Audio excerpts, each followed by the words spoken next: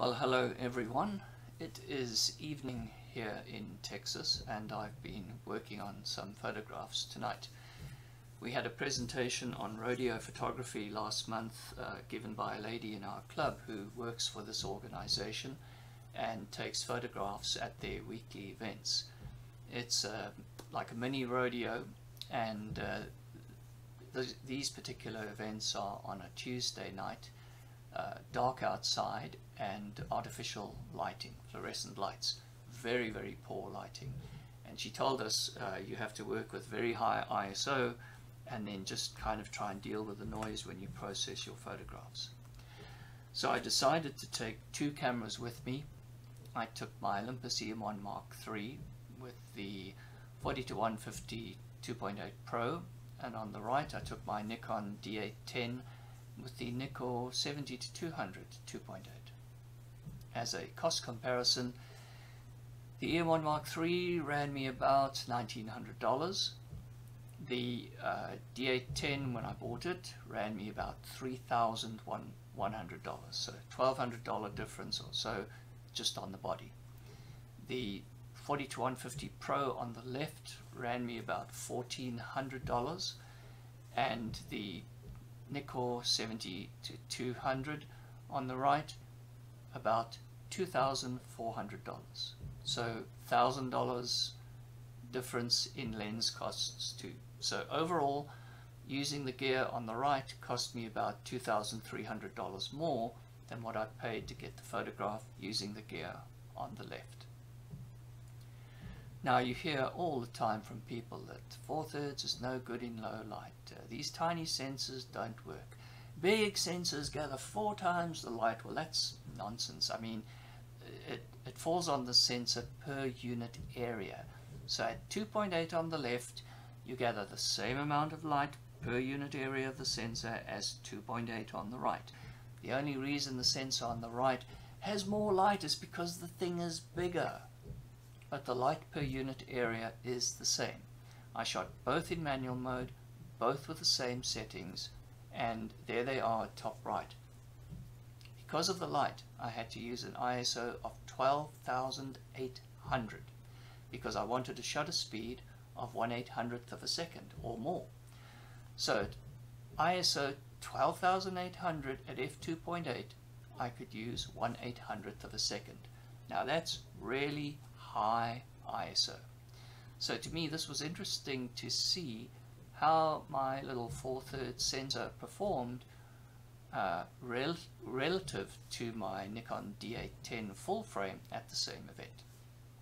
Just as a point here, the 4 thirds format I think worked a lot better because in the landscape format in this setting of course there's hordes of wasted space on the right and on the left that you just don't need and with the proportion of the bull and the riders and the height of the image.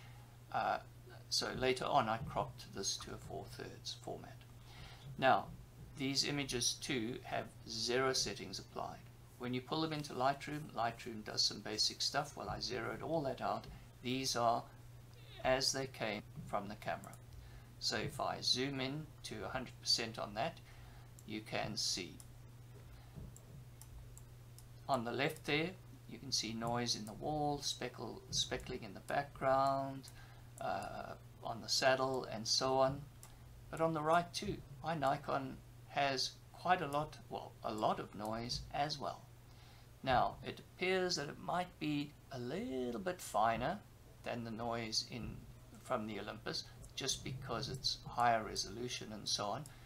But many people seem to claim that full frame, excuse me, just don't have noise. But uh, as you can see, that's just nonsense. Full frame cameras do produce noise as well at high ISOs. Sometimes my D810 performs better, sometimes worse, sometimes about the same as my 4 thirds bodies from Olympus. But there's not a massive, terrible difference at ISO 12800 between my 4 thirds body on the left and my full frame body on the right. So then what I did, I cropped each of those to 100%, although we've looked at those there at 100% each so I won't worry about uh, showing you those crops because it's the same as this except here we can look over the whole photo and examine the noise.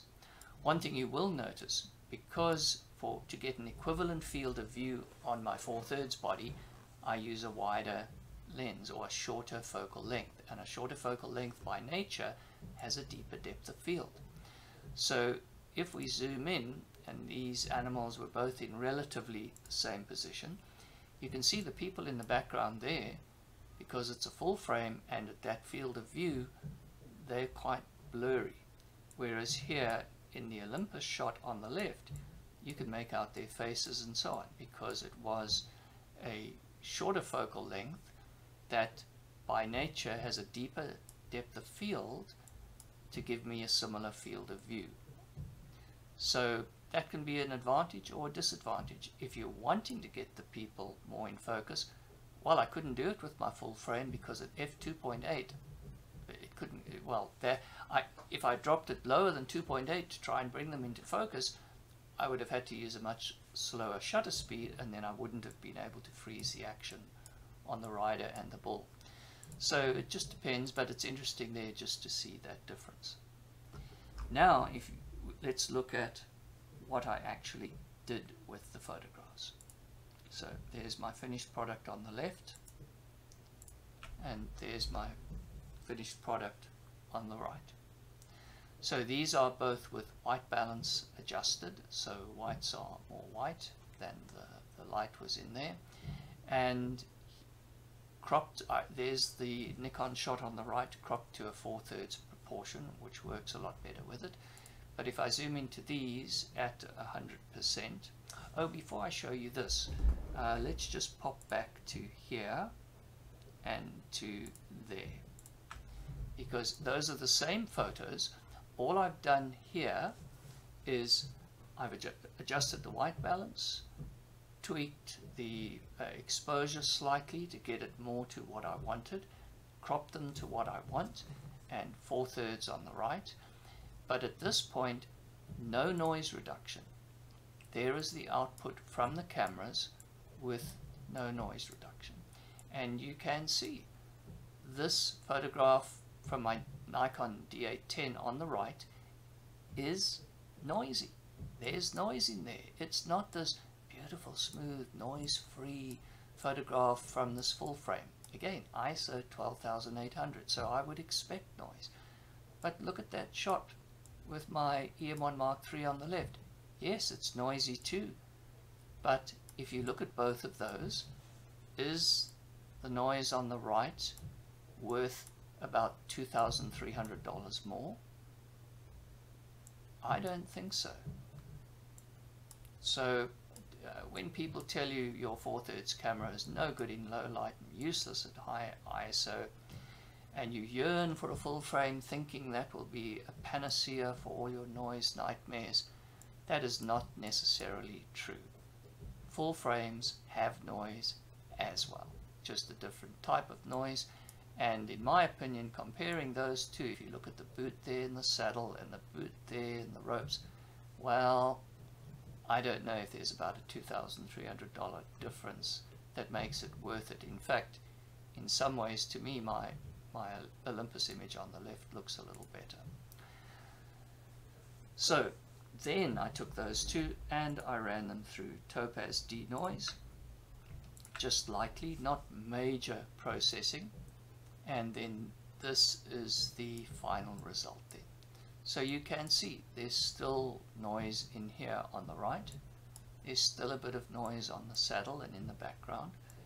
But uh, you can do more processing in Topaz or harsher processing, but I just did it quite lightly on both image images because I don't mind that grain. I think it looks okay.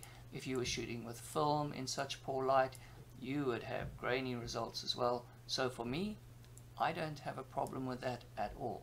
And in my opinion, the results I got with my small 4 thirds sensor on the left are pretty amazing for a camera that people claim, or so many claim, is no good at all in low light. So if all you have is a 4 thirds camera, uh, don't feel shortchanged and don't think you can't use it in low light because with a little bit of work and processing and perhaps using Topaz, you can get very good results with it.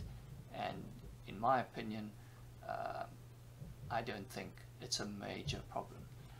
Uh, I've got nothing against Nikon. I love my Nikon gear as well. I enjoy using it. I bought a Z6 and one of these days, maybe the second or third iteration of the Z6, I'll buy an upgraded body there.